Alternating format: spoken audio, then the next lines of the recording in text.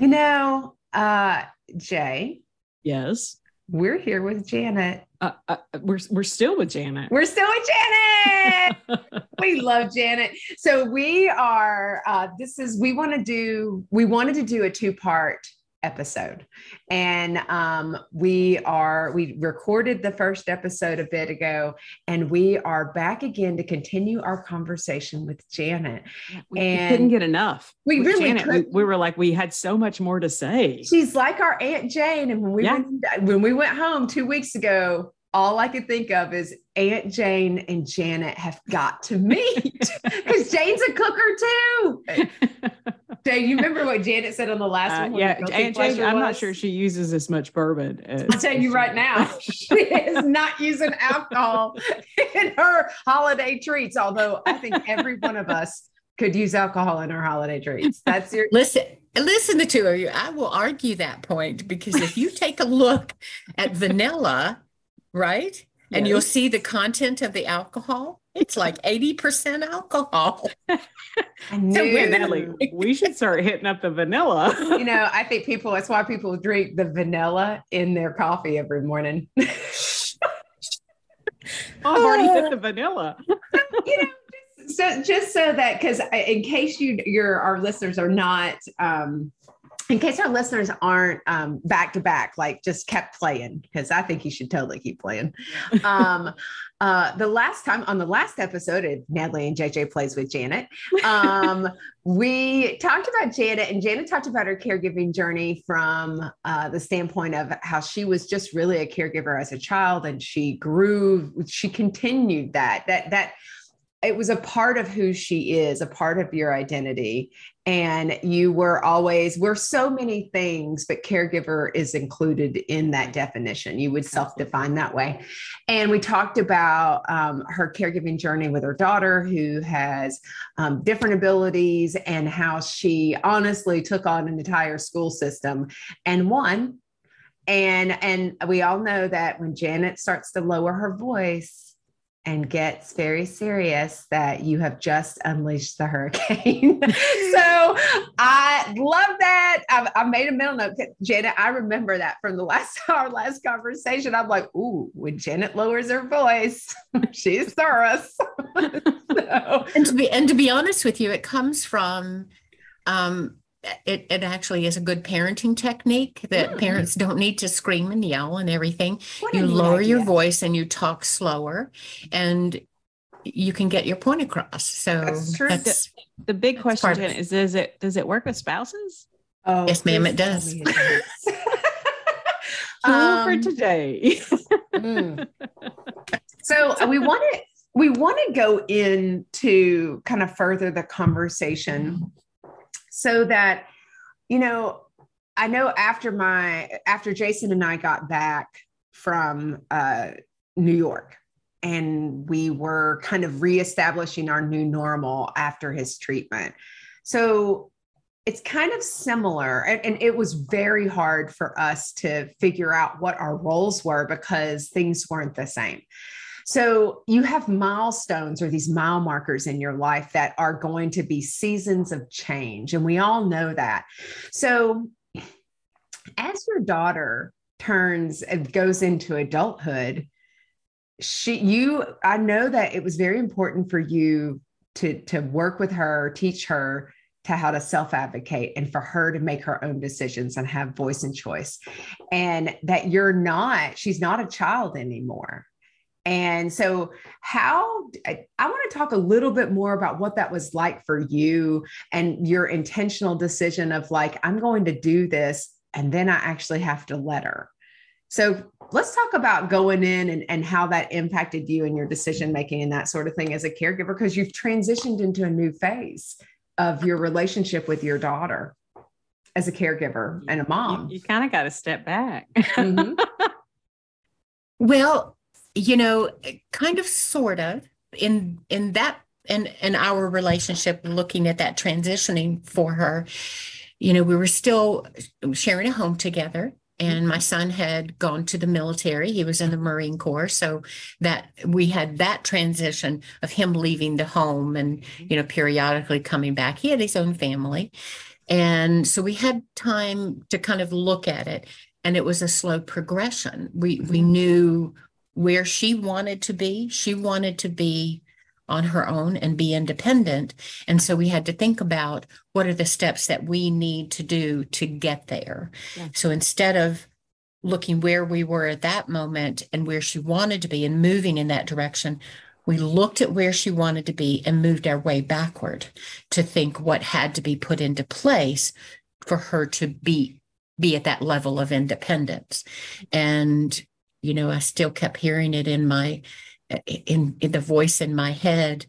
Dr. Gorge was his name when she was it was on her first birthday. She would never be able to live on her own. She'd never be able to care for herself. And she never would accomplish things. So that that stuck with me. And so that was part of the driving force. She had already graduated from high school with Mhm. the regular high school diploma with supports, of course. Mhm. Um, so then it was time for me to go to college and and finish up what I knew what my future wanted to be because I had to think about what my life would be when she had her own measure of independence. But now, didn't So- she all enter? Didn't you said she worked when you were going to college? Yes. That okay? she was in she was in um, it was a sheltered workshop Mhm. uh it it's kind of changed now Yeah. uh and it was helping her learn work skills Yeah. um and to be honest with you with her level of disability the physical disability the the speech and language impairment Mhm. it made it difficult for her to be in a a, a regular job Yeah. yeah. and and she understood that we knew that but it was just the way that the communities have been—I don't want to say set up but it's we often don't see adults with physical limitations physical disabilities being out in the workforce Yeah. you know full-time job so um I put things in place, was able to leave her on her own. Yeah. But at that same time, that's when I was having um, opportunities to get to know my husband, my last Yeah. husband. So, um, and looking at setting things up like a checking account that she could manage, looking at making her pay bills and things like that. So, just kind of putting, laying the groundwork. yeah. And then at the same time, figuring out still what I wanted to be when I grew up. Isn't that interesting? Because it feels like, and I think for a lot of parents, I think this is so normal in the sense of like couples who have children and they are they they go through school and this is the empty nesters. Like this is where people are like, holy cow, I have to figure out what I'm going to do the rest of my life because I've been solely focused on my child for so long. And so what do I want to do? And so you had really put your life on pause and and this is a normal caregiver thing we we put our lives on pause our let me say we don't put our lives on pause. We put our wants and desires maybe on the back burner to ensure that the care of the individual is is to the forefront to make sure that they get their needs met. I think that's common. And so would you say that you would also probably did that at the same time? I mean you did sacrifice your job that you loved so that you could have insurance. Well, I uh, when when she was when when my daughter was younger, my son was younger, I had that uh, you, you're referring to the job that I had, and I I I had to make a decision about what was the priority there. yeah. And that but at the same time looking at how to be able to function and manage support myself and support my family. And Mhm. at that time when she was uh, she had just turned a year a year old going in you know going to into the new year and i had to make a decision Mhm. and at the time that um when i had the opportunity to go back to college i always knew that i wanted i i had two associate degrees and i wanted I, I wanted a future. I've always valued education. Yeah. So I knew that the bachelor's degree is sort of like a a, a ticket to the movie. You know, it, Yeah. it open, opens doors for you. Doesn't keep you there in the movie, but Right. it, it it's sort of a comparison to that. And so I along the way I had to make a decision about priorities Mm. and where I envisioned our lives to be. And continue to support her to be the best that she could be, and my son as well. I don't want to leave him out Mhm. because if I could tell you some of the, the story that I said to him uh, about going into the, into the Marine Corps, um, and so I I say to to I said to them and said to my say to my son still to this day, I was a mean mom, and they they look at it from a different context, and I said no, I mean what I say, and I say what I mean, Mm. and so that makes me a mean mom. Um, so I had to think about what priorities needed to be put into place. Mhm. And at the same time, I was looking at, at priorities for me in, in college and then looking at what priorities were important for her to have her independence and to Mhm. be able to live on her own, but to be able to be a productive. Is productive the word I want to use? A- An adult with the responsibilities and taking care of things if she wanted to remain independent. You know, Janet, I have a question and it's something Yes. that I deal with. It's a personal thing.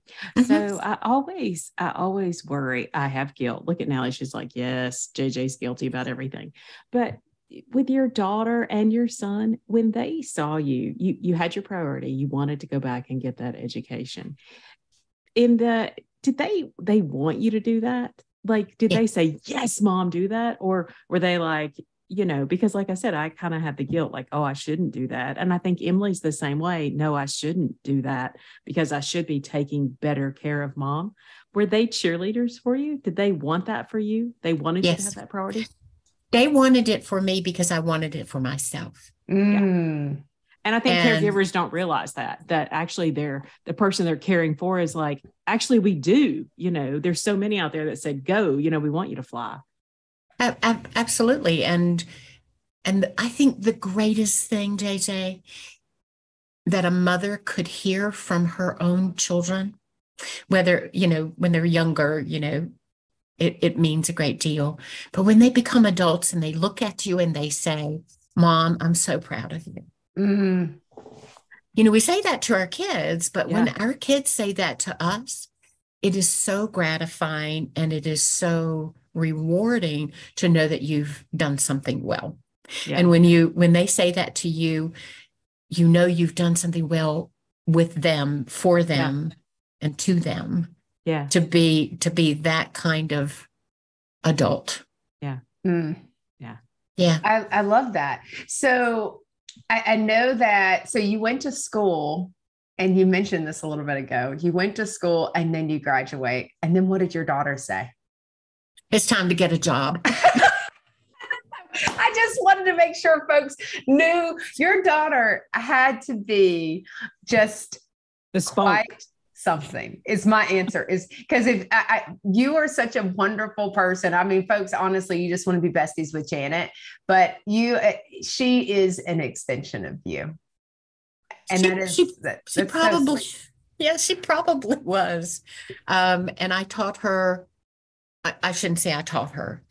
I provided her a model of strength Yeah. and I provided her with a model of self empowerment Mhm. and to have her voice and being an adult with a disability. That's important.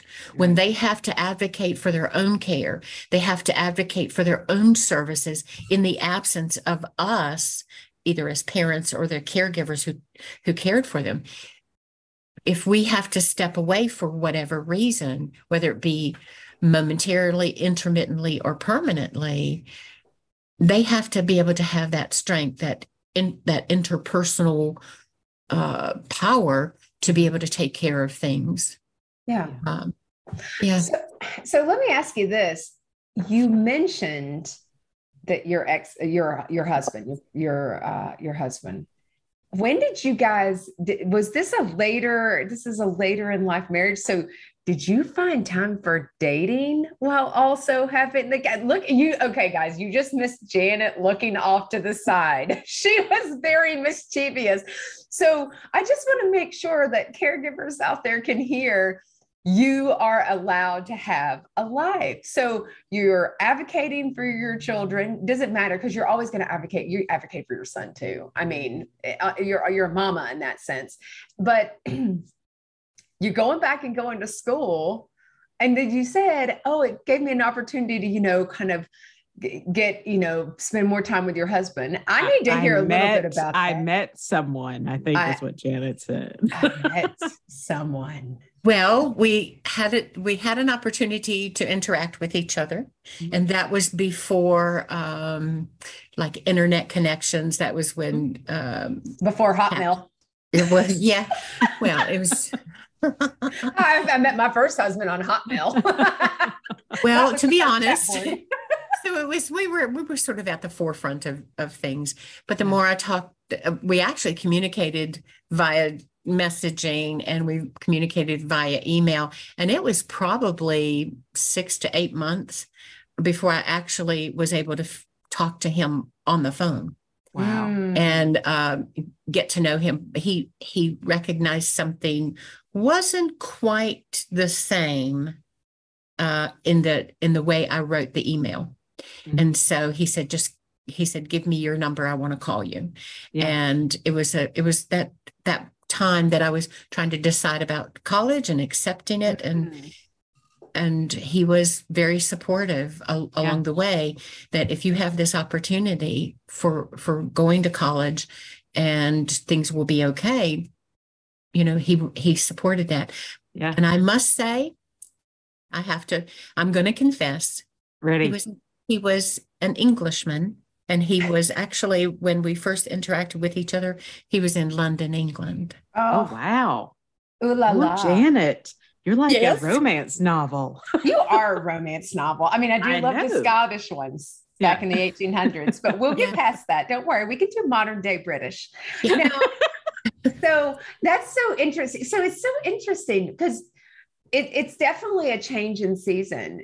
It seems like your daughter's graduated, your son's launching successfully. And it's like, I'm allowed to have time for me. Did and, and that's totally okay. I don't think you have to wait. I, I, I don't think you would say I waited 18 years to have a life. It, uh, we all make choices, but you're going back to school. You've met someone who's British. I love that. That's intrigue.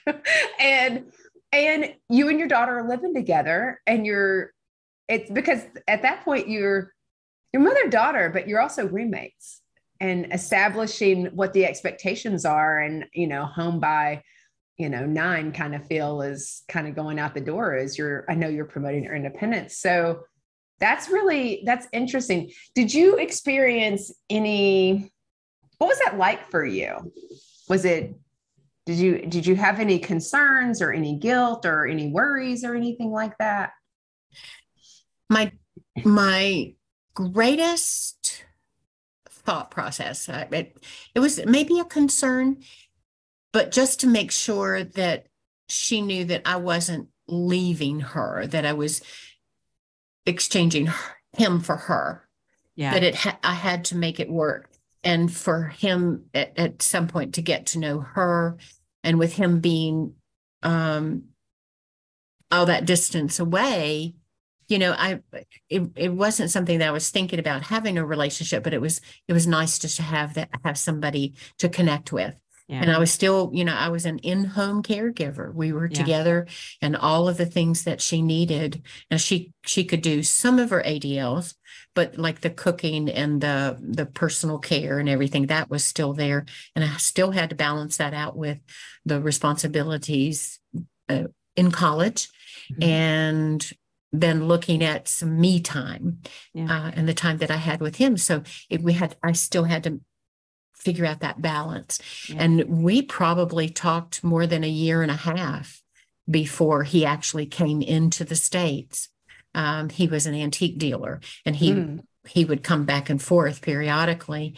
And so those visits became more frequent and yeah. we got to know each other more and more. And he got to know her, she mm. got to know him, and she absolutely loved him in in sort of like a father figure Oh. and um, he respected her. He understood about her limitations and my responsibilities and everything. And at no point was there ever, it's me against him or him against me.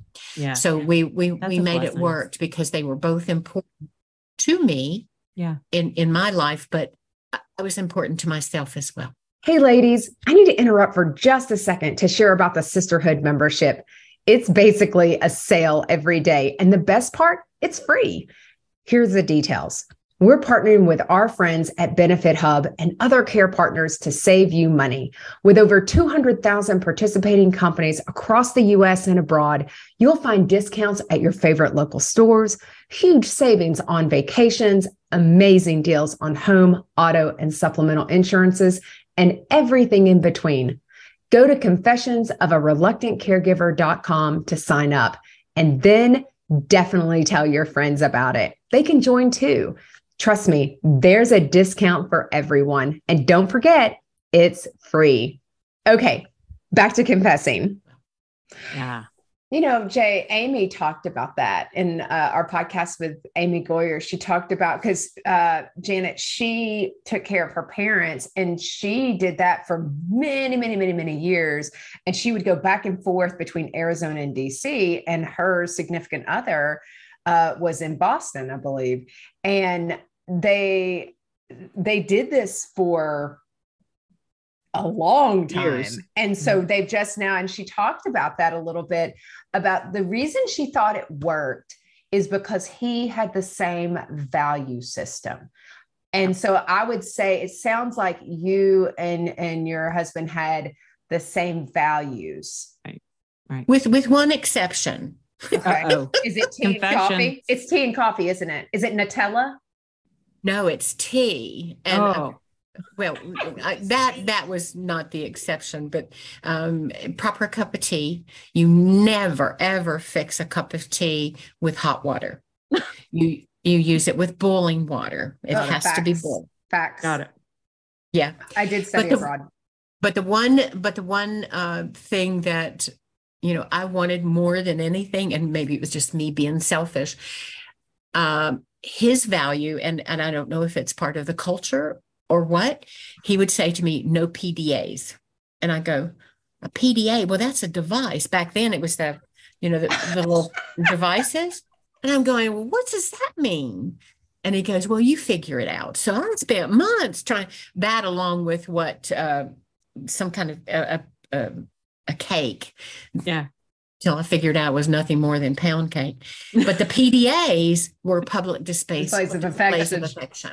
Affection. And he would not do that. Mm. Oh, no holding not hands. I think that's, I think, I really do think that's, well, part of that's culture and part of that is you know, know's upbringing, past experiences. And if you don't see it, then you don't think. That's you- that's royalty. He must have been part He of the must have royal been with family. Prince Charles, you know, he's I- getting a little I'm- stodgy.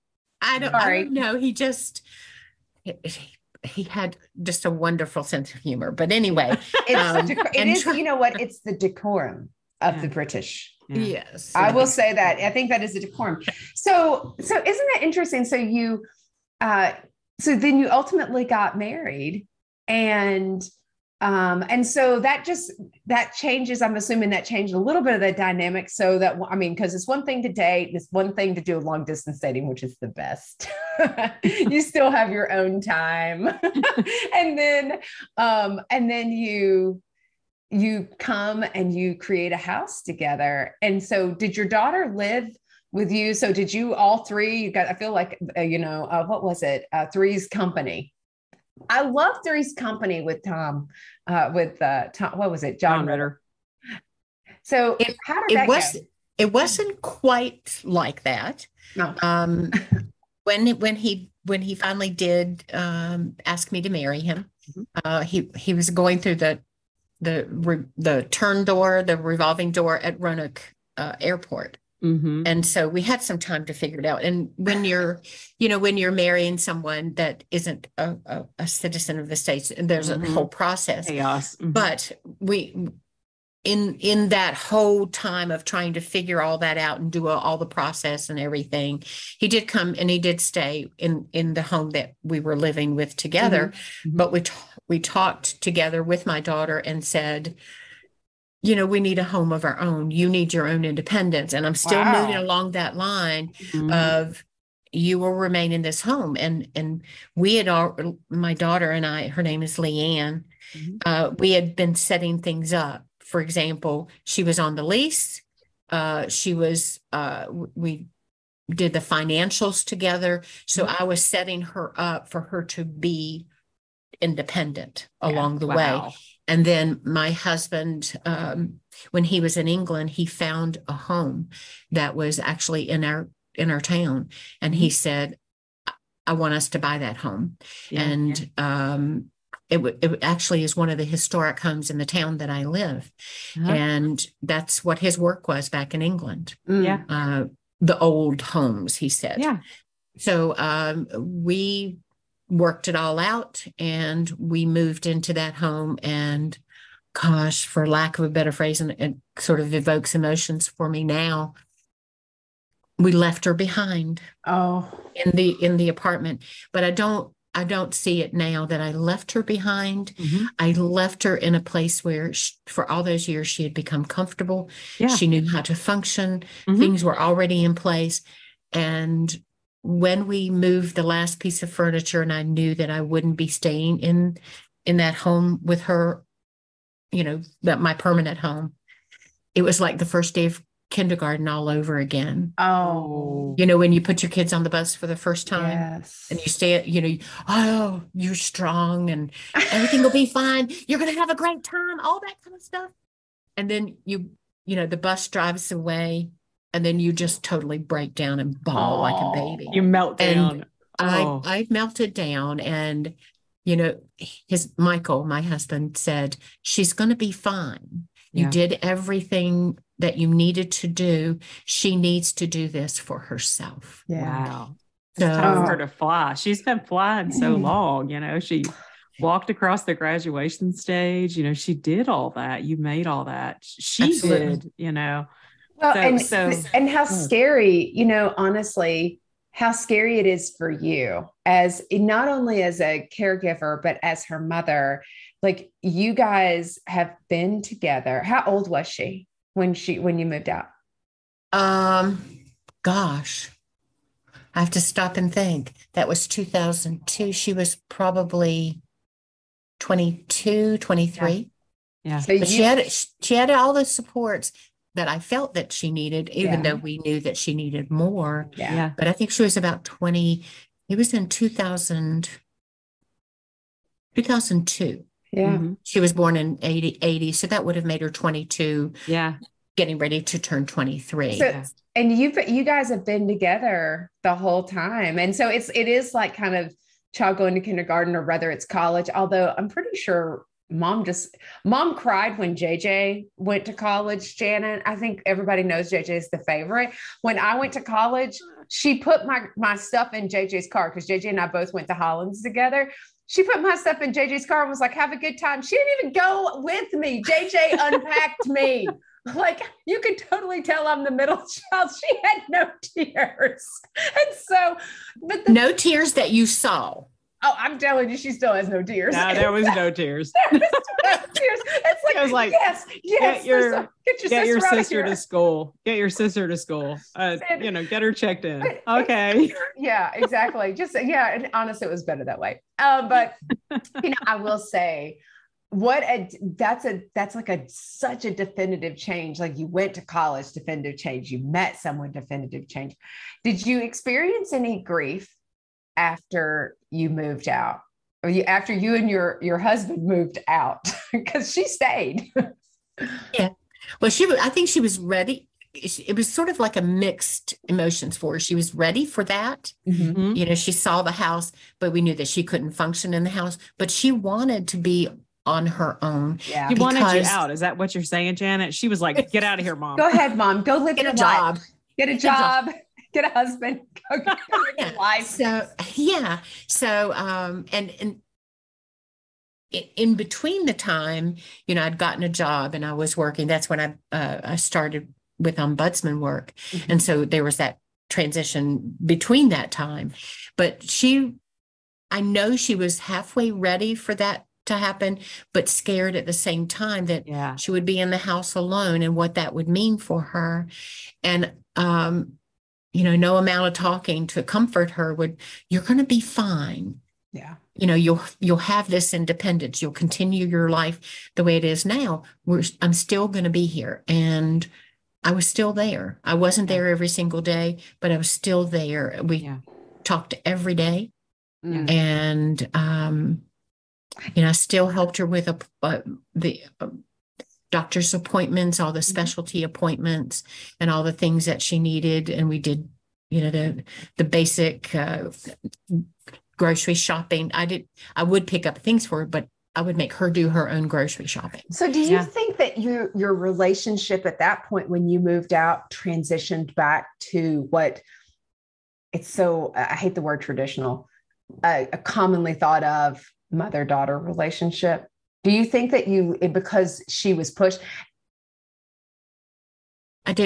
yeah, because it sounds like what you're doing is that independence allowed you to take a step back from the caregiver role as the primary and allowed you to be to, uh, more activities of a of a expected of a parent sort of like that game mother may i mm-hmm. you know where you take a baby step or a big step yeah. or whatever so initially they were halfway baby steps mm-hmm. um some distance from her but still I wasn't a helicopter mom, but I knew that I needed to kind of watch things a bit more closely to make sure that right. she was successful.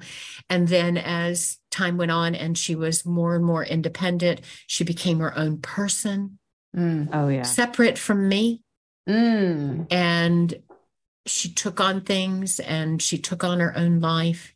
Then I could take bigger baby steps back or more baby steps back. Yeah.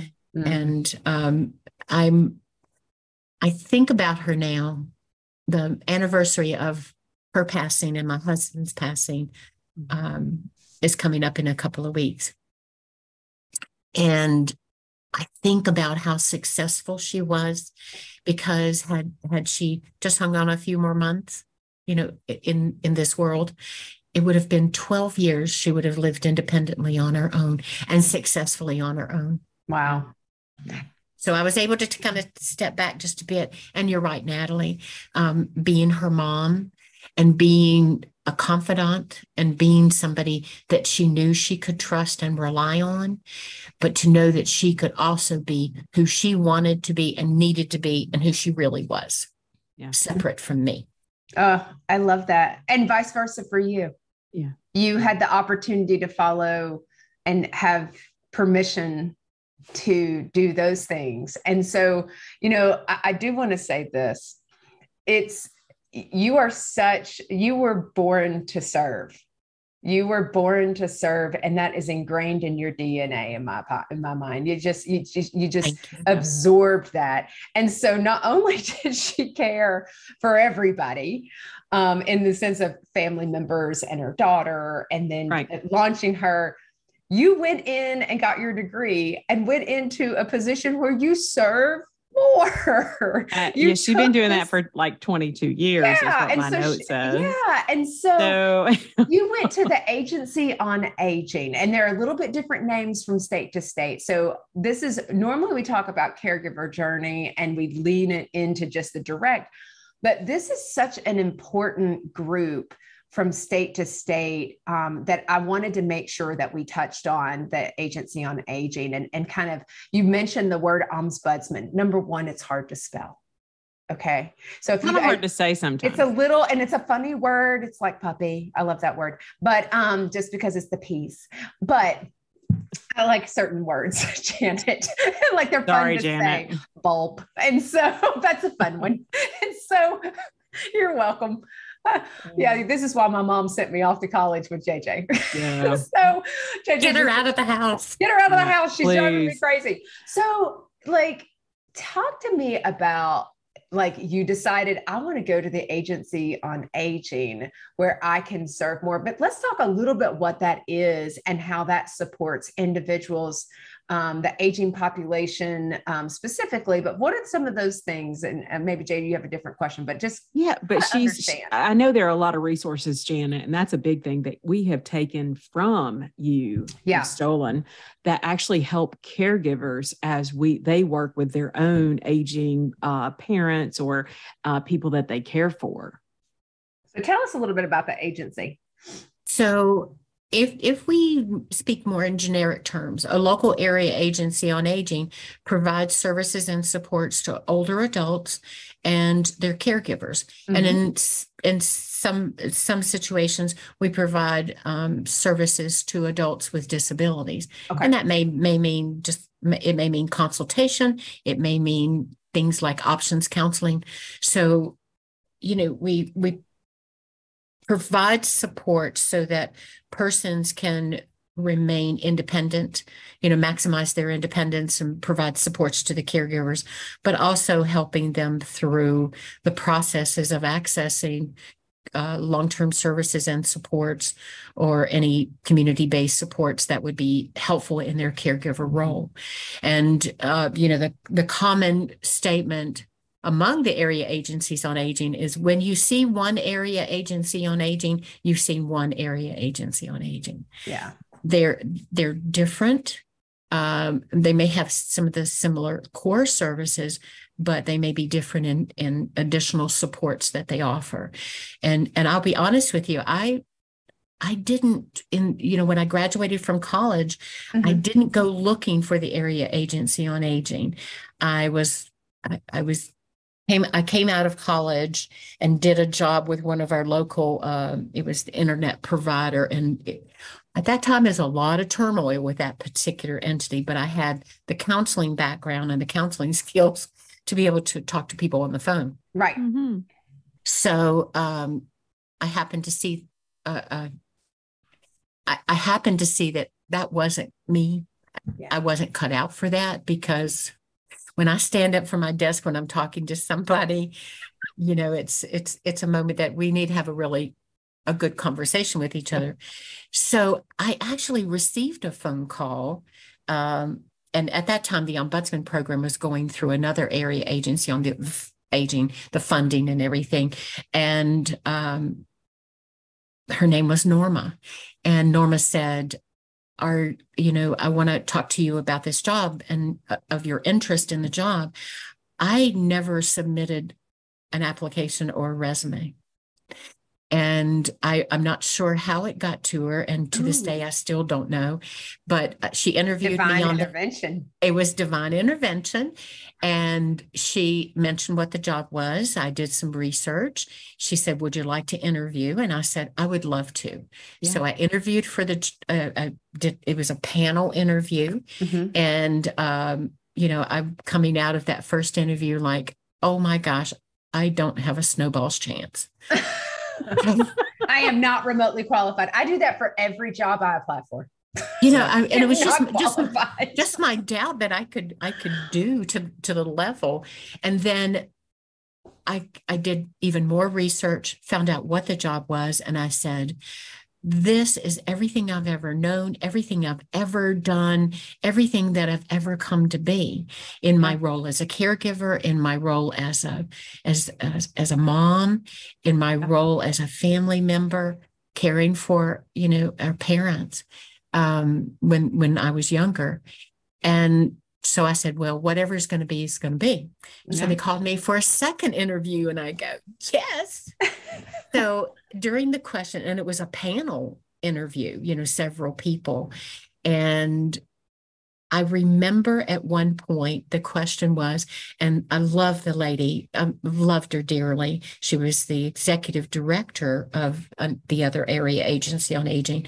And she said, Well, you haven't had experience working with the aging population. What makes you think you're qualified? And I'm paraphrasing, please note. Yeah, yeah, yeah what makes you think you're qualified for the job and i thought okay this is the third interview and i have i have to be strong and i looked at her and i said with all due respect i said during the course of this inter- these interviews, you've talked about advocacy, you've talked about empowerment, you've talked about providing support and working to resolve conflicts.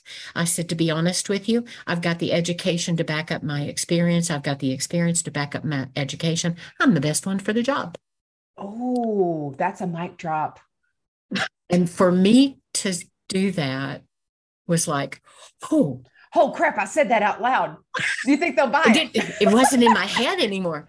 So um and and I'm I'm privileged and fortunate to have been given that opportunity. Mm. So I, it, the interview was in Roanoke, and I lived about an hour and fifteen minutes away. And within by the in the course of me driving back, they had already called to my home and offered me the job. Heck yeah. But I was on my way to vacation. So oh. I'm delayed in getting back to them.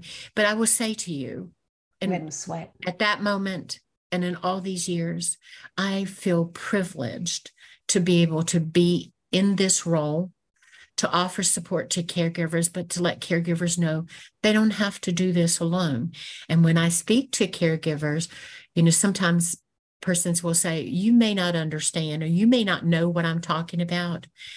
And I can honestly sit with a great deal of empathy because I've traveled a similar road, not their road, not their journey, but to say to them, you don't have to do this alone. You have the support. And I offer resources, offer information. And that's what our agency on aging does. We offer that information, we offer that support um, so they don't have to walk the journey alone. Mm. You know, it, it feels so good. Jay, I think you were going to ask something. I was just, well, uh, I was just, that was like a warm hug. I know. Well, I know that, um, Janet, we're going to definitely uh, include uh, the New River Valley, your contact information yeah. in our show notes, because I know we'll have a lot of listeners that are like, oh, wait a minute. She talked about all kinds of resources or ways that people yeah. can get support. And I want people to know that uh, we'll include those in the show notes for sure, Nat, um, to make sure that they'll know how to get Janet you know, uh, and the agency. Yeah. And I think this was just, you know, and, and, and we're just, you know, as we kind of come to a close, just thinking about um, how it was so, what your statement around just like, you thought about your caregiving journey with your parents you thought about it with your daughter you thought you know what i mean? Like it, and and the fact that you didn't apply for the job. That's that is you have been a blessing to so many people and i think that the blessings came back to you and, and i do. And when i say to persons today is a blessing because we've been given one more day to find moments of joy.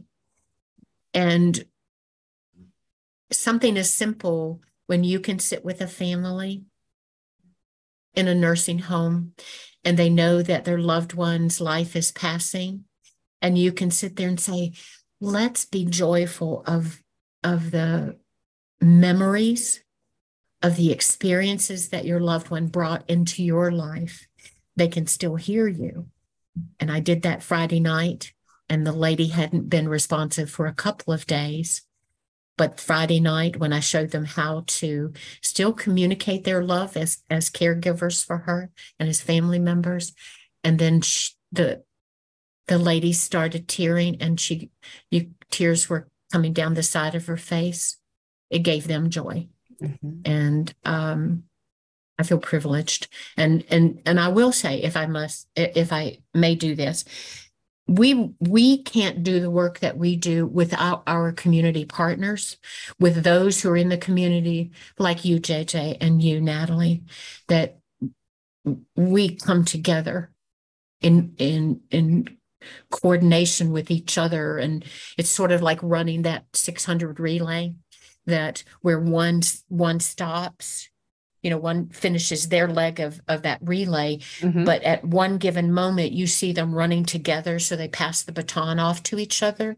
Mm-hmm. and then one slows down and then the other one takes off running if you watch those relays. And that's pretty much what this is. Let us be there with you. Let us help you. We'll do what needs to be done but help you be strong and help you have those resources and that connection with other entities. Mm. And then you can take off on your own. I think that's called caring forward, Natalie. I think that sounds like carrying forward because that's what we do. I think we care do. forward. We Well, do. Janet, thank you so much for being here with us again and continuing our conversation because it's you've lived such a full life and continue. And To continue to bless and care forward. Like- I I hope I hope that is true. And I'm very humble. And my personality, actually, believe it or not, is as an introvert. And it's it- you know, I have those moments and I'm I'm working on being more, you know, a little bit out. I, what can I say? A little bit more extrovert, but that's not my nature, not my personality. But I will say to you that after the death of my husband, after the death of my daughter, Mhm. I had to figure out things and figure out life and figure out about continuing a life well lived. Mm. And I will say to you, I have that. Mm. And to come come out of the role of personal caregiving, but to be supportive of other caregivers, my life is well lived. And if tomorrow or today I get notification that today's my last day, I will say, no regrets. I've learned along the way. I hope that I've touched lives so that they know there are persons like the two of you, like you, JJ, and you, Natalie, that helps other people hear those stories, hear our stories, but to know they can do it. Mm. They can they can serve and they can survive and still find a quality of life after that caregiving role stops. Mm. Janet, we love you. I know. I love you so guys. much. I love you love girls you. too. Thank you so much. And we look forward to seeing you uh, soon. I hope our paths cross again, at least the next time I'm in Roanoke. Oh, So- Janet and I are already besties. We've Yeah. been, we've been Yeah. eating um, dark chocolates together. Yeah. So, Janet, thank you so much. We love you. You're we hope so all of our listeners have been uh, blessed, and uh, we uh, we thank you, Janet. and until next time, everybody, uh, when we confess again, thanks so much.